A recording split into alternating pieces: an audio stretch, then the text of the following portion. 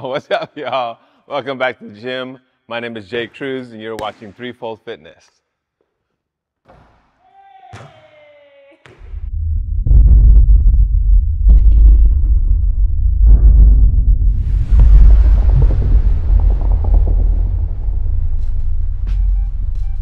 Listen, I know you guys thought that maybe I took like a million takes to do that shot. It only took me two takes. But anyways, today we're gonna talk about this basketball court. We've been talking about the gym so often and the equipment that's in there, but we haven't talked about this feature that a lot of people don't have you know, access to or um, have availability to, but this is what we're gonna talk about on how uh, we put this flooring in. It is from Snap Sports. Uh, it is called Silver Maple is the style that it is, the actual flooring.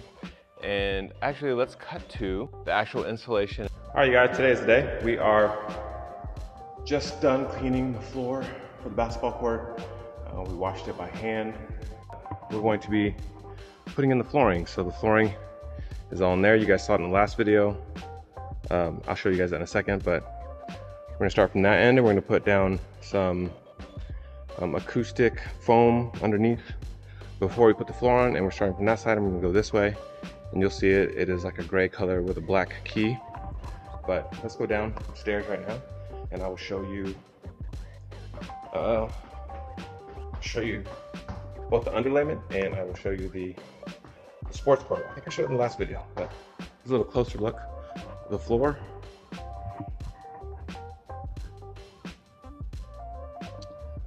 Spare you guys the time lapse of us cleaning it. I mean, you've seen people wash the floor by hand before. If you haven't watched Cinderella, it's like in the beginning of the movie. Um, so here it is. This is the Snap Sport Sport Court. It is, you can't really see it. No, you can't see it. It's it's gray. Let me try to line in here. It's uh, maple or silver maple is what it is actually. Um, and then this is the underlayment right here. It comes in six foot rolls. I think they're 45 feet each. So no, they have to be more than that. Let me see. They are four rolls of, I don't know, look at It's in like a different language, so I don't know what that is. At any rate, oh, it shows my address. Okay, well, you won't see that. At any rate, it uh, there's enough to cover the whole floor. So we maybe we will do a time lapse of us throwing throwing it out on the floor. I'm not gonna take my shoes off because I walked into this dirty room. I don't want to track that. Anyways, once the floor dries in about 20, 30 more minutes, we'll put the floor in. So probably like five more minutes. Should be good to go. I just took before pictures and this is the before video. There it is. We put that up the other day. It's one of the hardest things I've ever done in my life. And then we just put up the hood for the roll-up door as well. That's all. Next shot you'll see is us putting the floor in.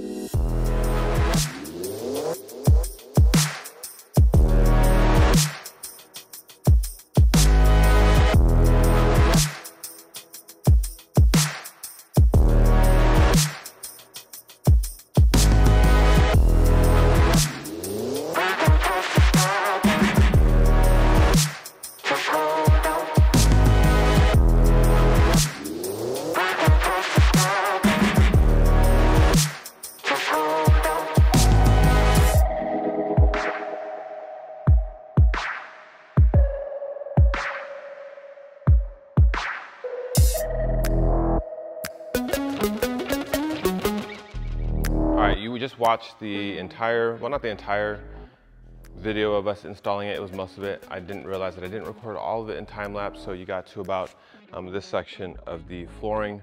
But for the most part, it's a puzzle and they, they explain to you um, how to put all of it in. You get it in that big pallet like I showed you, and it's numbered. But there's a few things that we had to do before we installed it to prep the floor.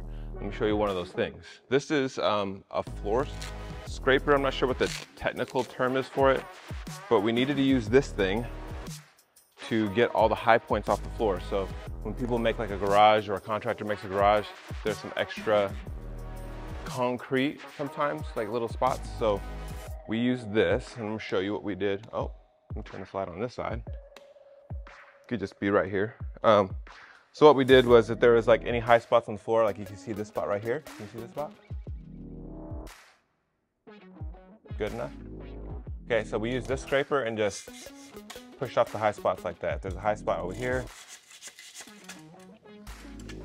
Ugh.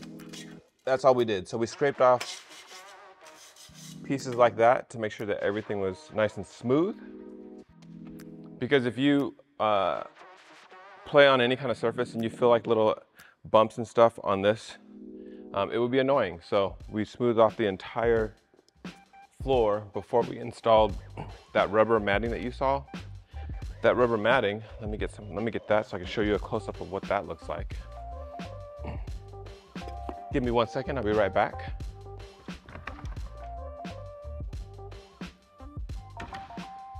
So that roll looks like this. Um, you can actually buy this at a regular like store. It's kind of like the matting that you put in cabinets. It's very similar to that, but what this does is it helps with acoustics. If you watched that first video, well, you did watch the first video, but you can see how, or hear how echoey it was inside of here. And now there's a lot less echo, and this helps with that. So this traps some of the sound and doesn't let it move. And it also makes this floor a lot more uh, pleasant, I guess we want to say, for your knees and your ankles. When you're jumping on top of it, it doesn't, um, the impact is not as much because of that, that piece. So this is what the tiles look like. After we put that, that inlay down, it's a quarter of an inch, I believe, rubber. We put these tiles on it, and yes, they are plastic. It's a, I'd have to find the name of it. I'll put the name of whatever it is right here below. But they're like puzzle pieces, and they only go in one direction. It's the only way that they go, so they'll go like this. So they connect like this so that they go um, with each other. So we'll never go um, in opposite directions like it wouldn't. Whoa. That's my, uh, my smooth skills here. It wouldn't ever go in like this direction because then it wouldn't continue. If you see how the, the end little um, clasp look, it wouldn't go together. You can look at the underside real quick. So you can see that there's some like high spots and low spots. This is so that when you're on it, um, it has a little bit of give once again, so that it's good, it's better for your knees, it's better for your joints. If this was concrete in here, we wouldn't be able to play basketball in here for hours or volleyball for hours. And then here's how they interlock. They just interlock like this. And that's it, you just press it in so it looks like this. When we put them in, and you just step on it. And that's it, it was clicked in. So when you watch that video and you saw us putting them in here, they already come in, I think it is four by four sections and they're all numbered. So they have give you like a little schematic that has all the numbers on it. And then you can place them all out according to that schematic, but they're all numbered. So it's like one here, all the way to like 12, and then 13 to 24, then 25 to whatever. And it's super easy. Now the tricky part comes with the edges. So what I chose to do with ours is we were gonna put baseboard up. So when I gave the measurement to the guy at Snap Sports, I gave him the measurement all the way to under the baseboard size so that I could install this under the baseboard and then the baseboard could be put on afterwards. So it just gives it a super, like a, a way more clean look. This is the tool that we use to cut, well, that's not it. This is the tool that we use to cut them. It is a, um, a floor tile or PVC cutter and it made it super easy because the whole back, so the whole back edge of the gym was about three inches shorter than a, than a full piece. So what we did was we put it in like so. And this makes it really easy. And I can show you, if you go to the back side, you would mark whatever it is with like a marker so you can see what the cut was. And then you just do this to cut it. And now your piece is cut. The other option is, instead of doing that, is using a utility knife to cut it, you know, stand, uh, a standard just utility knife. And I'm telling you right now, the line will not be straight. If you cut with this. And also, it's not gonna be good on your hand. Your hand is gonna feel horrible after doing it. But I did have to use this tool, and I'll show you where. On little detail corners like this. So this piece was just slightly bigger than this space here. So I had to cut this corner off here, cut a little slice there and cut a little slice here. And there's a bunch of those everywhere there's a door space or doorway. I had to do that on every single one of those. And also all the way along the the um, roll up 16 by 6 roll up door. I had to do it there as well. Uh, this, I think I mentioned it before. The gray one is called Silver Maple. And then I wanted an accent for the key and it's just all plain black. So these actually cost a dollar less than this. And the reason for that is that there is an extra layer on top of this maple to make it look this way. So it looks a lot nicer than this does. But the contrast of this versus the entire floor being just the silver maple would have been horrible. So I opted for this. You might be asking about durability and how well does it um, stand up? Well, here is a piece that we had some guys that were moving in furniture here and they pushed a piece across the floor. If you can definitely scrape it and the product can get scraped um, if you dig into it, but there is no, like from normal wear and tear on our floor, nowhere on the entire floor that looks like this. It all still looks brand new. It might look a little bit less shiny than it originally did because we use it, but for the most part, it holds up. If you look at the three point line area, they paint this on for you. So they actually fully assemble this in their warehouse. They paint the lines, they number it, and then they disassemble the entire thing. But the line on here, we've had this for almost a year now. We play volleyball in here constantly, basketball in here constantly, and the line is still crisp, like it's like the same as when it first came.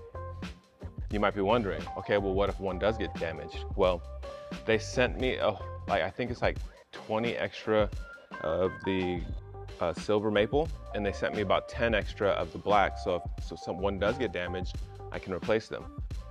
You might be wondering, how do you get one that's in the center of the floor? Because you can't get your fingers around it to, to lift it up. You need to replace one.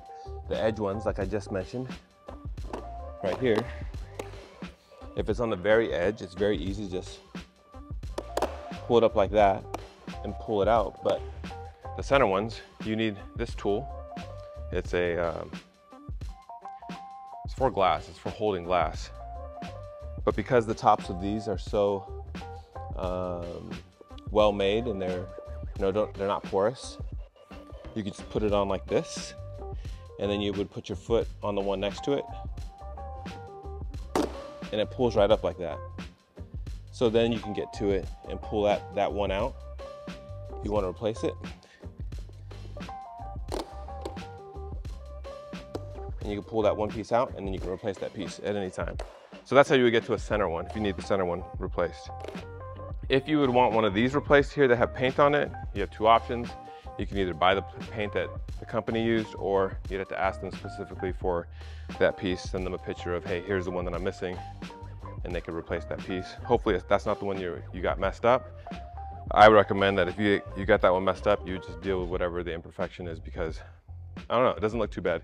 Even this piece that's scratched, I'll show you again. In light of the entire court, like that wouldn't be that big of a deal. Yes, within a year, if you had that, it would be an issue. But after years and years of having this for a while, this should like, wear and tear like this. I think you should expect that over time, especially if you use it a lot. Last piece that I would say is um, I ordered these, and you kind of have to tell these to the company as well when you order it, how many edge pieces you need. I think these are like a dollar each or something like that. And I needed something that transitions from the court to the gym. So this is what I used here. And these were three inches long. So they're about this thick. And every time you use one of these, um, I had to measure the distance that I needed to cut it because of, because of the ramp edge. Um, and it makes just a nice transition over so you don't have this, this weird edge hanging off. You have um, this nice smooth transition that comes down and, and again, that cutter came in handy for this part because you have to cut every single one of these individually too. And if you see, I have a nice like edge here all the way down because I used that cutter and I measured this side and that side before I cut it, like the distance between here and here and here and here, so that, that um, the angle would be correct as I went down this edge. So I just talked about what it looks like um, as an indoor like court. This is all indoor tile. They do also offer outdoor tiles.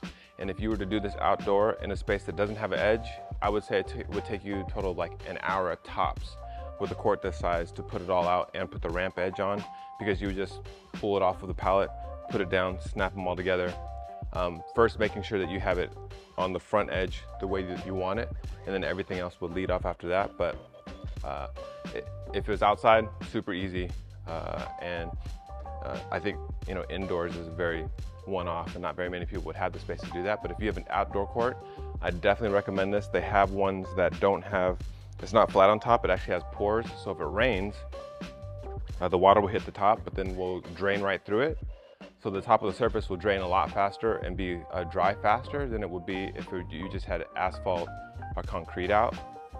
Uh, that's the advantage of having it, but also like I said before, like just the feel of it on your feet and on your knees, it's a it's a hundred percent different than just playing on concrete. It's, it'll save your knees and save your ankles. Overall, if I could rate this product, um, one out of ten, um, I don't know. Like I think that obviously hardwood would be much better uh, but the maintenance for it will be like way higher. For this to clean, we just wipe it off with a dry mop and then like every once in a while wipe it down with towels. Um, and there's actually like a, um, uh, a floor cleaner that you can use that you just drag behind you and it wipes the entire thing. That's like $500, but that will make it even faster. So it would be like a five minute cleanup. But um, a hardwood floor, like while it would be better, the maintenance to like polish it, wax it, keep it clean, all that kind of stuff, and to make it look good will be like way higher on the higher end. But in terms of somebody that wants something that looks high end, but is low maintenance, I would recommend this 100%. So like one to 10, I would say for what it is, a 10, definitely. But for what you could have, I would give it an eight. But like I said, if you have the higher end product, it means higher end maintenance, where this is almost no, almost no maintenance. You just sweep it like a regular floor and, and mop it and it, and it works well. Um, I will leave a link to this company below because if I believe in a product, you know, I'm gonna stand behind them and, i and I recommend them. I'll put a link to them in below. And then all the tools that I, I got, I actually got them off of Amazon. So I will put a link to those also below if you are planning to do this project and you need the tools as well. Or if you said, oh, I need that tool for some other project, I'll put that in below. Um, yeah. Overall, we love the court and um, it's like the funnest thing. Doing family stuff and hanging out with your family and making a space like the gym that we have and the basketball court slash volleyball court slash um, pickleball court. Uh, oh, speaking of which, hold on, we're coming to a close, but let me speak about one more thing. If you're planning on using this as a pickleball court, real quick, while it is good for your knees, it is not good for pickleball bounce. I know that they advertise it for pickleball. Maybe I did something wrong. Maybe my floor tile is the wrong type, but this is the normal pickleball and it does not it does not bounce. It does not give the same response as it would like on an outside tennis court or off of concrete because it deadens, you know, the, it absorbs shock. So that's the bounce that it gets. So for us to play pickleball, we had to get these like slightly oversized tennis balls so that it has a better bounce. So let me just show you that real quick. So I will say for that reason, if you're getting it for pickleball specifically, because I know they advertise it for that, here it hasn't worked. And I'm not saying it doesn't work in every situation because I haven't seen every other situation, but in our application here, it just did not work. Okay, I think I covered it all. If you have any other questions, if you have something that you feel like I didn't cover, or something that you have questions about, please put those below. I always answer those as quickly as I can. Um, thank you for hanging out with us. Thank you for watching the video. Thank you for all you guys' support. Uh, if you haven't subscribed, I recommend that you do that now. If you have subscribed, thank you so much. And if you liked the video, like the video. As for now, that is goodbye, and we will see you in the next video.